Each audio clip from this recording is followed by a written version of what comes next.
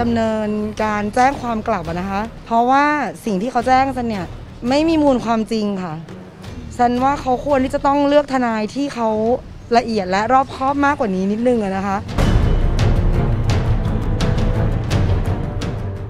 ตงโมเป็นเหตุหลังหนิงปณิตาธรรมวัฒนะ และจินจรินธรรมวัฒนะพร้อมด้วยนายสิทธาเบี้ยบังเกิดหรือทนายตั้มเดินทางไปแจ้งความเพื่อดำเนินคดีกับแซนวิสาพัฒน์ในข้อหาหมิ่นประมาทเมื่อวันที่ 17 พฤษภาคมที่ผ่านมา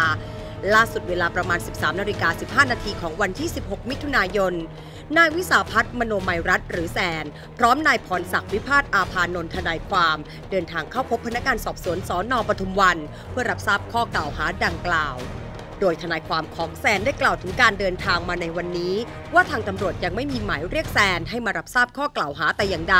แต่ทราบว่ามีการให้ข่าวเรื่องที่แซนไม่ได้มาพบพนักงานสอบสวนตามที่นัดหมาย จึงได้มีการทำการตรวจสอบ และทราบว่ามีการแจ้งข้อหาจริง จึงพาตัวแซนมาพบตำรวจในวันนี้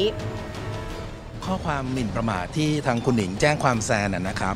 ถ้าจากในคลิปสัมภาษณ์แล้วเนี่ย ถ้าเรามาแกะคลิปดูเป็นคำๆเนี่ย จะไม่มีคำคำไหนเลยที่คุณแซนเอ่ยชื่อคุณหนิง นะครับแต่กรณีนี้คุณหนิงไปแจ้งคำว่าคุณแซนเอ่ยชื่อนะครับซึ่งตรงนี้มันมันเติมข้อที่จริงขึ้นมาจากคลิปภาพข่าวที่มีอยู่ ซึ่งผมมองว่ากรณีแบบนี้เนี่ยเป็นเรื่องของการ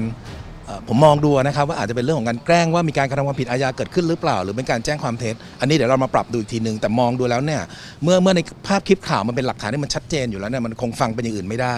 นะครับก็เราก็เลยลงความเห็นกันว่าเราน่าจะแจ้งความกลับ ขณะที่ด้านแซนเองได้เปิดเผยกับสื่อมวลชน ว่าหลังจากที่ทราบข่าวว่ามีการแจ้งความนั้น ก็อยากทราบว่าเป็นข้อหาอะไร และหากไม่เป็นความจริงก็จะขอแจ้งความกลับทันที ซึ่งวันนี้ไม่รู้สึกกังวลหรือกดดันอะไร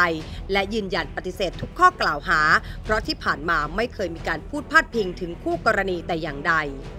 ก็เลยต้องดำเนินการแจ้งความกลับนะคะ เพราะว่าสิ่งที่เขาแจ้งซันเนี่ยไม่มีมูลความจริงค่ะ ซันว่าเขาควรที่จะต้องเลือกทนายที่เขาละเอียดและรอบคอบมากกว่านี้นิดนึงอะนะคะ เพราะดูเหมือนกับว่าสิ่งที่เขาแจ้งซันเนี่ย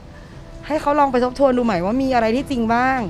อันนี้ซันกำลังปรึกษาอยู่ว่าจะเราจะแค่แจ้งความเท็จหรือว่าเราจะมีอะไรอย่างอื่นเพิ่มเนาะเพราะว่าเขาสิ่งที่เขาพูดไปเนี่ยไม่รู้ว่าเขาเอ่อปลอมแปลงหลักฐานหรือเปล่าด้วยซ้ำอะ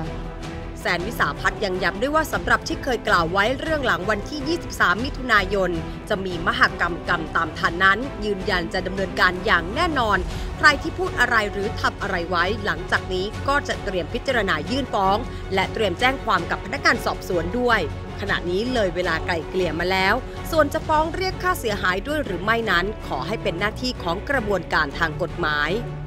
มหากรรมตามธรรมก็น่าจะทีเดียวกันนั่นแหละค่ะ อันนี้ไม่แน่ใจเดี๋ยวเดี๋ยวเดี๋ยวจะลองถามดูดูอีกทีนึงก่อนค่ะ ไม่มีใครยอมหรอกค่ะโดนขนาดเนี้ย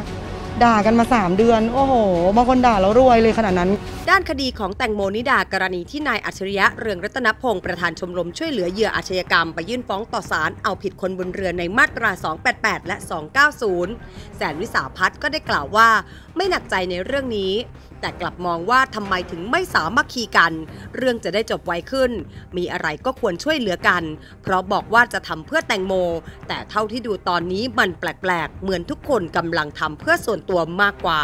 ส่วนตัวไม่กังวลเลย เพราะคนไม่ได้ทำผิด จะให้ผิดคงไม่ได้ฉันมองว่าใครก็ตามแต่ที่ช่วยเหลือในอยู่ในคดีนี้ตอนนี้ค่ะเขาควรจะสามัคคีกันแล้วช่วยหาหลักฐาน มันจะได้จบเร็วๆ มันจะได้เป็นการทำเพื่อหาความยุติธรรมให้แตงโม แบบที่เขาพูดจริง ๆ เพราะฉันก็อยากให้เรื่องนี้จบฉันอยากไม่อยากให้แตกกันไม่อยากอะไรเลยเนาะคือจะช่วยเหลือกันหาความจริงหาอะไรก็ช่วยกันไปดีกว่าไหมคะคนนู้มีอะไรคนนี้มีอะไรก็เอามาช่วยๆกัน อย่ามาห่วงอย่ามาอะไรนะอันนั้นมันเห็นแก่ตัวค่ะ